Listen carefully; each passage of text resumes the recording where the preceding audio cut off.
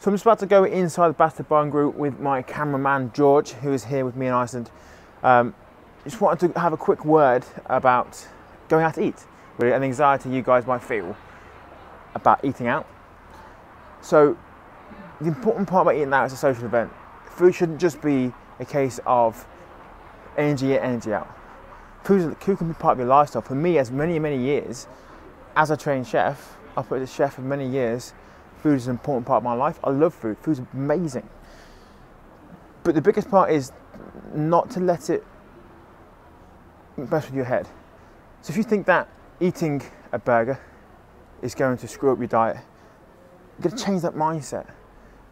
If you eat a burger, or I'm going to have a, a flatbread with a bit of duck on it today, if you eat that, and it's not in your normal diet, you're not in your normal regime, are you going to get fat from that? Probably not. In fact, definitely not. Because all you have to do is get back on track and everything sorts itself out. Don't worry about going out to eat with your friends, your loved ones. My friend George, if you know him, he's pretty cool. But go out and enjoy yourself.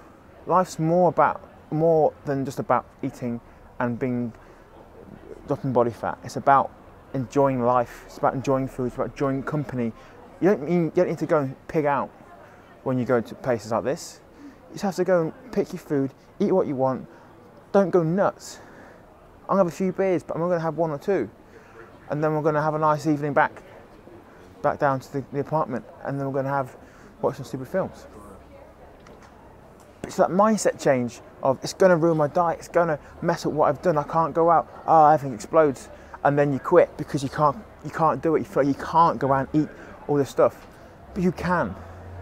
It will not make you fat. It will not change your diet. Just get back on track. Life change takes different directions. If one day you go out and have ice cream because everyone's got ice cream, that's fine. Have an ice cream. It's not going to mess with you. You're going to enjoy that ice cream and go, that was lovely.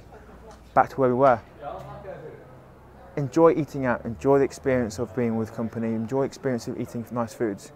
Don't let it mess your head. I promise you, you'll be fine.